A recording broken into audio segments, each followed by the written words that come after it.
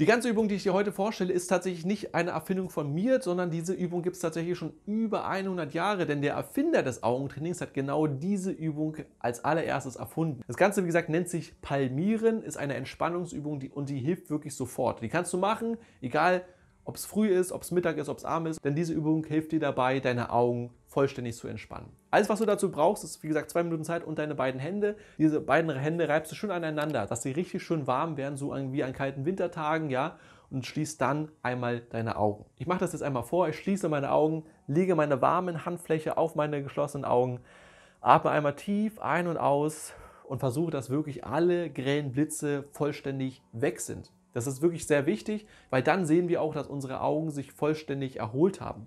Ich würde dir empfehlen, wie gesagt, das Ganze so oft zu machen, bis du wirklich keine grellen Blitze mehr siehst. Lass auch gerne deine Augen in der Zwischenzeit immer geschlossen. Mach einfach so, weiter. Versuch deine Hände wieder aneinander zu reiben und versuch zu entspannen. Ja? Und je öfter du das machst, desto mehr entspannen sich deine Augen. Und wenn du das nächste Mal machst, zum Überprüfen, ob sich deine Sehkraft verbessert hat, schau dir such dir einfach ein Objekt oder einen Gegenstand in der Ferne raus, den du vorher nicht hundertprozentig scharf sehen kannst. Mach dann zwei, drei Minuten diese Entspannungsübung und du wirst danach wahrscheinlich merken, dass dieses Objekt, was du dir vorher rausgesucht hast, wieder gestochen scharf sehen kannst.